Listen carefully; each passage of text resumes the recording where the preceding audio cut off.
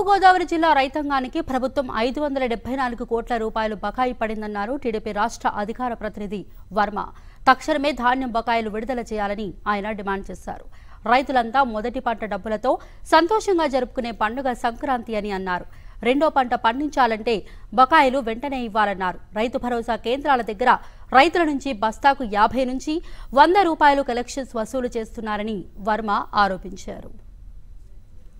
ప్రభుత్వం తూర్పుగోదావరి జిల్లాకు సంబంధించి రైతుల దగ్గర కొన్న ధాన్యానికి ఐదు వందల డెబ్బై రెండు కోట్లు పేమెంట్ ఇవ్వాలి. రైతులకి ఒకే ఒక పండగ అది సంక్రాంతి పండుగ.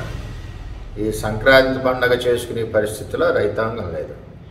అదేవిధంగా రైతులకి సంబంధించి ప్రతి ప్రొక్యూర్మెంట్లోనూ కూడా రైతు భరోసా కేంద్రాలు బస్తాకి యాభై నుంచి వంద రూపాయలు కొట్టేస్తున్నాయి. పట్టుబడి డబ్బులు పూర్తిగా ఇవ్వట్లేదు.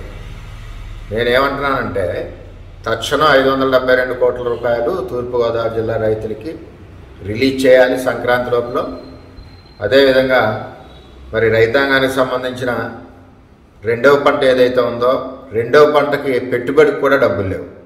రెండవ పంట వేయాలంటే రైతులకి అమ్మిన ధాన్యం డబ్బు రావాలి. చేత తక్షణం ఐదు వందల డెబ్బై రెండు కోట్లు తూర్పుగోదావరి జిల్లా రైతాంగానికి రిలీజ్ చేయాలని చెప్పి తెలుగుదేశం పార్టీ డిమాండ్ చేస్తుంది. అదేవిధంగా రెండవ పంటకు కూడా పెట్టుబడికి రైతులు ఇబ్బంది పడుతున్నారని చెప్పి కూడా తెలియజేయడం జరుగుతుంది. ఈ డబ్బు వస్తే రెండవ పంట వేస్తారు రైతులు ఆనందంగా సంక్రాంతి పండుగ పండుగ చేసుకుంటారు.